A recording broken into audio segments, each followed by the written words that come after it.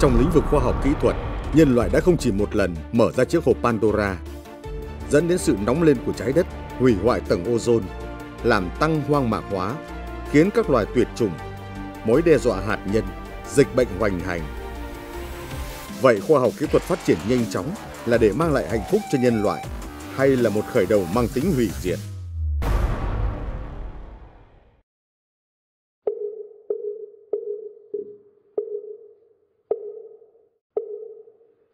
Nếu 能转念，何须我大慈大悲？若不回头，谁为你救苦救难？ Đi tìm quán thế âm Bồ Tát. Nhìn kìa, theo vật lý khám phá thế giới này, có tổng cộng 5 chủ đề. Sự tiến bộ của khoa học kỹ thuật mang lại nhiều khám phá và phát minh, làm cho con người ngày càng mạnh mẽ hơn. Các loại phương tiện giao thông là sự nới rộng hơn một phần bước chân nhân loại. Điều này mở rộng đáng kể phạm vi hoạt động của con người. Kính thiên văn và kính hiển vi là phần mở rộng của đôi mắt, cho phép con người khám phá một thế giới rộng lớn lẫn tí hon.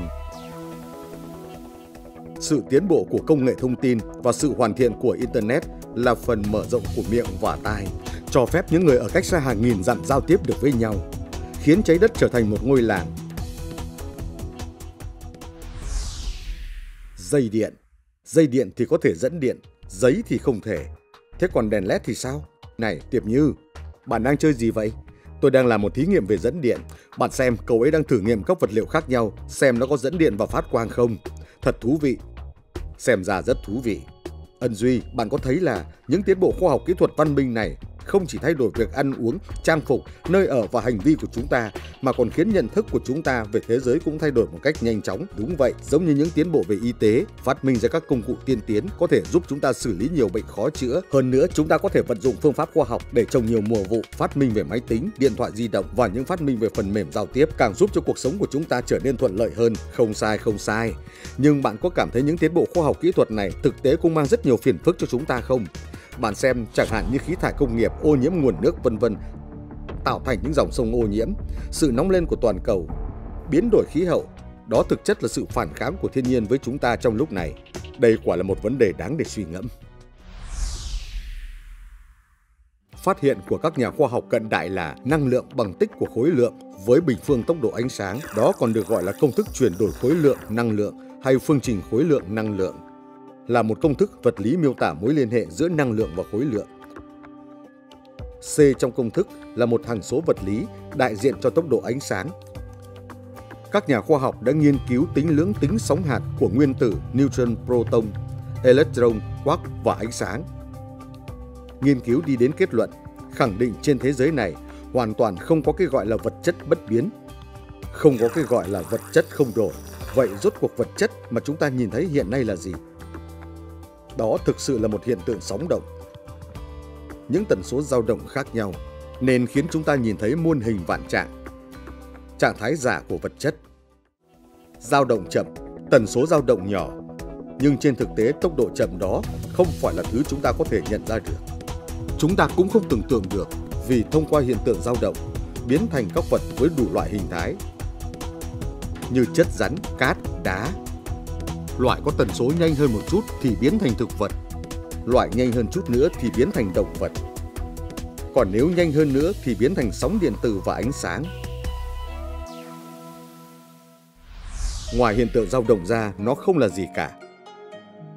Các nhà khoa học chỉ ra rằng những lý giải của các nhà khoa học về cơ học lượng tử và nhận thức về khoa học của phần lớn tín đồ Phật giáo cũng như đức tin của họ đều có thể bổ sung cho nhau. Trên thực tế, Điều này cũng hoàn toàn giống với lý giải về ý niệm và hiện tượng dao động trong kinh điển Phật giáo. Hôm nay tôi sẽ đưa mọi người đi thăm một phòng thí nghiệm rất đặc biệt. Đối với khám phá khoa học của chúng ta, nơi này sẽ có tác động rất rất lớn. Hôm nay chúng tôi rất vui đến phỏng vấn tiến sĩ Lưu, một bác sĩ và cũng là một nhà khoa học.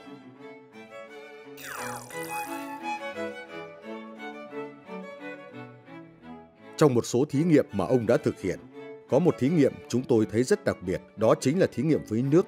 Ông có thể giới thiệu về nó được không? Được chứ.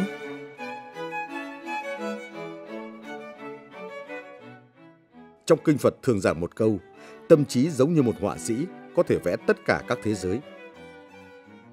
Trên thực tế, sự kết tinh của nước giống như thế này. Thí nghiệm với nước này, thật ra trước đó đã có rất nhiều nhà khoa học từng làm tương tự.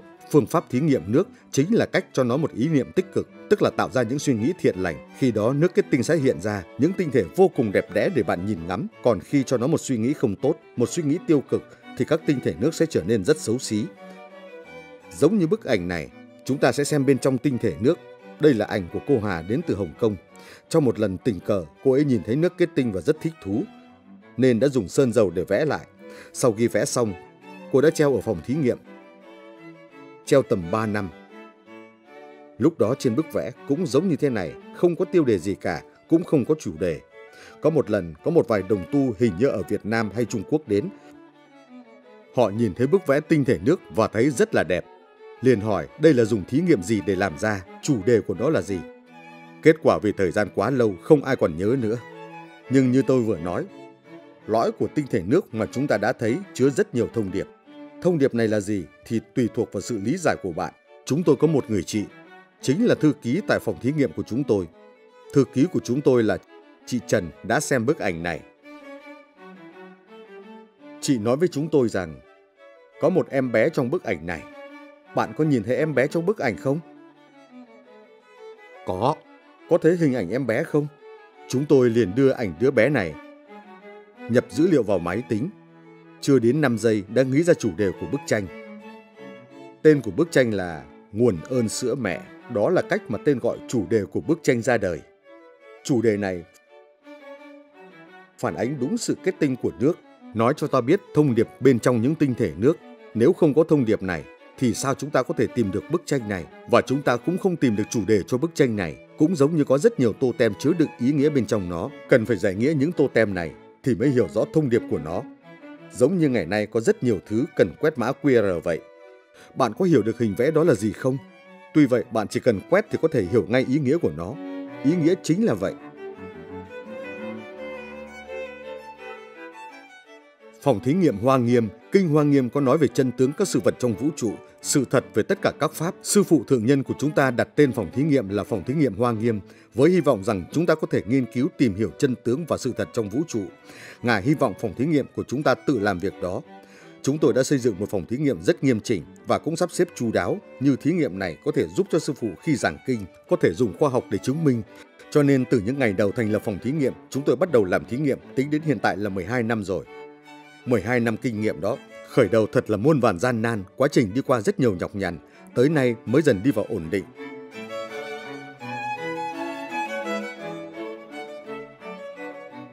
Thông qua kết quả của thí nghiệm với nước, ông muốn gửi thông điệp gì cho đại chúng thế giới? Tất cả pháp đều là duy tâm sở hiện, duy thức sở biến. Tất cả vật chất, tất cả vật chất ở trên thế giới này, tất cả đều do tâm trí biến hiện, mọi thứ đều do tâm mà ra, tâm vốn tự nhìn, nghe, cảm nhận, nhận thức, cho nên tất cả vật chất mà nó biểu hiện ra đều có thể nhìn, nghe, cảm nhận, nhận thức được. Sư phụ đã lấy một ví dụ để giảng cho chúng tôi. Toàn thể vũ trụ là một cơ thể, một cơ thể sống. Hoa, cỏ, cây đều là sự sống, núi, sông, đất đai cũng đều là sự sống, ngay cả khoảng không cũng là sự sống. Cho nên khi chúng ta khởi phát một ý niệm, toàn bộ vũ trụ này đều tiếp nhận được. Tế bào vật chất trên cơ thể chúng ta cũng tiếp nhận được. Bởi vậy chỉ cần khởi phát một ý niệm tốt thì toàn thể vũ trụ đều được thanh tịnh và biến đổi tốt lên. Cơ thể của chúng ta cũng biến đổi tốt lên.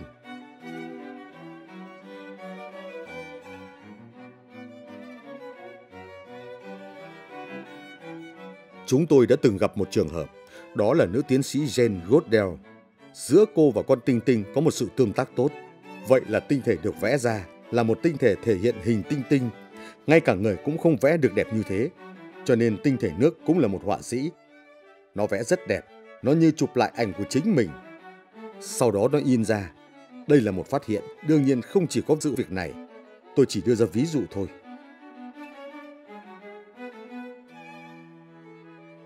Thông qua việc chúng ta vừa trao đổi, chúng ta có thể hiểu rõ hơn cảnh là do tâm tạo thành.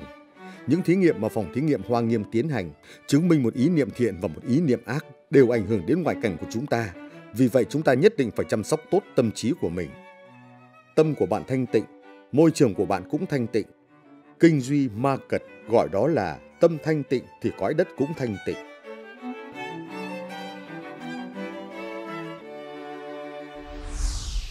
Hôm nay chúng ta đến chùa Đài Nam Cực Lạc. Tại phòng thí nghiệm Hoa Nghiêm, chúng ta sẽ tiến hành một thí nghiệm thú vị với nước. Giờ hãy đi theo chúng tôi nhé. Đi thôi. Chúng ta sử dụng nước cất dùng trong y tế, đổ vào bình thủy tinh. Tại sao phải dùng nước cất? Bởi vì nước cất là tinh khiết 100%, không có tạp chất, có thể tránh được những yếu tố khác ảnh hưởng đến thí nghiệm. Đợi chút nữa sẽ mang nước này để vào gian phòng nhỏ nơi treo bức tranh đúng không? Đúng. Chúng ta còn cần cho nước, nghe nhạc, xem phim và ngửi mùi vị nữa. Hóa ra nước cũng có thể cảm nhận nhiều thứ như vậy. Tất nhiên rồi, nước có thể tiếp nhận rất nhiều thông tin.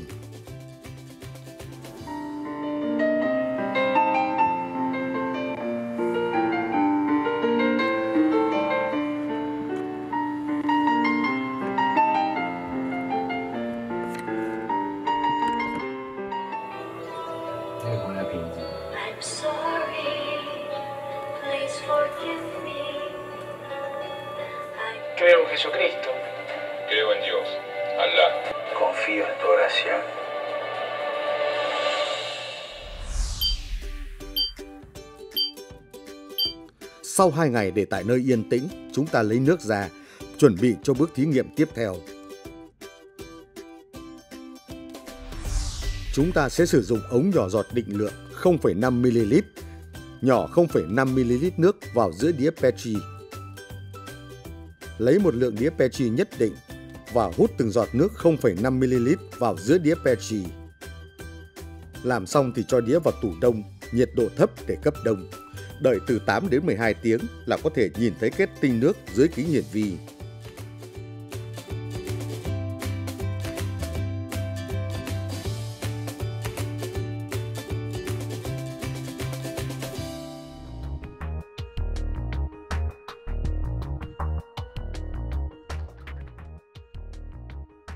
Khi chúng ta quan sát nước, cần nhanh chóng lấy ra từ tủ đông, đặt dưới kính hiển vi. Căn chỉnh thấu kính của kính hiển vi giống như một tinh thể nước tương đối hình thành này vậy. Khá là chắc chắn. Nó dần dần tan chảy.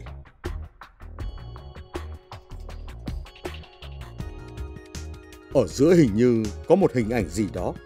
Đúng rồi, trông giống như hình một người. Đúng, tinh thể nước thực chất mang đến cho chúng ta một thông tin.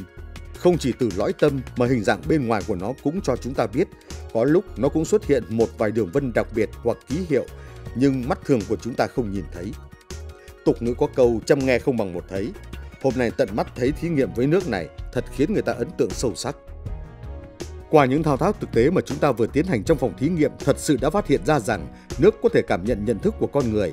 Ngoài ra nó còn tiếp nhận năng lượng bên ngoài, từ đó sinh ra những tinh thể nước khác nhau. Cho nên có thể nói rằng trong cuộc sống, việc chúng ta duy trì những ý niệm thiện lành là điều vô cùng quan trọng. Đây cũng là điều tất cả chúng ta bắt buộc phải học. Con người từ ý niệm, hành vi, lời nói đều cần lan tỏa năng lượng tích cực. Đó là việc vô cùng quan trọng. Bởi vì nước đều biết 70% cơ thể chúng ta là nước tạo thành. Điều này cũng liên quan đến tình trạng sức khỏe của mọi người.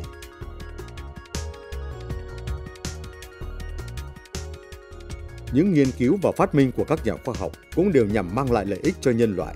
Mong muốn này cũng tương tự như Bồ Tát muốn cứu độ tất cả chúng sinh, tiêu trừ mọi đau thương khổ nạn của chúng sinh.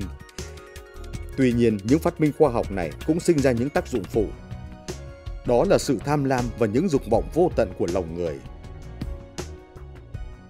Dưới góc nhìn của Phật giáo, nếu khoa học phát triển hợp lý, thì phải thông tỏ và giải quyết được ba điều sau.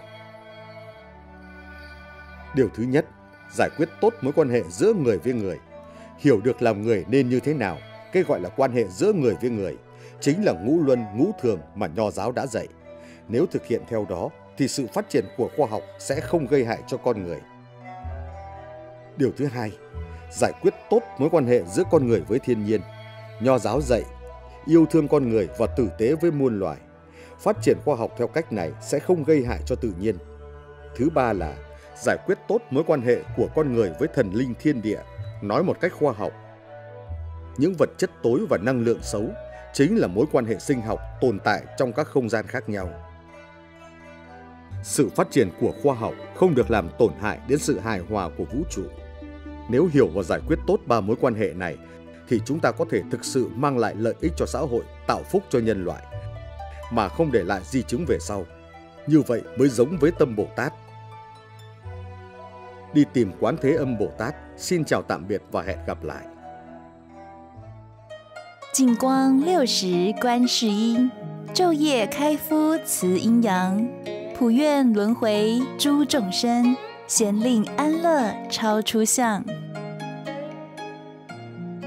Quán Thế Âm Bồ Tát Đại Từ Đại Bi trong suốt lục thời lúc nào cũng đồng cảm với chúng sinh, cứu độ khổ nạn của chúng sinh. Ngài muốn chỉ bảo chúng ta rằng ở nhân gian này chỉ cần học được nguyện lực từ bi của Ngài thì chẳng phải ai ai cũng đều có thể chung tay giúp cho vũ trụ thuận hòa sao? Ví như thời kỳ thế giới bắt đầu hình thành, chúng sinh đều cần công cụ để sinh sống. và nếu Bồ Tát khi đó là một người thợ rèn, thì Ngài sẽ không bao giờ tạo tác ra các công cụ sát sinh.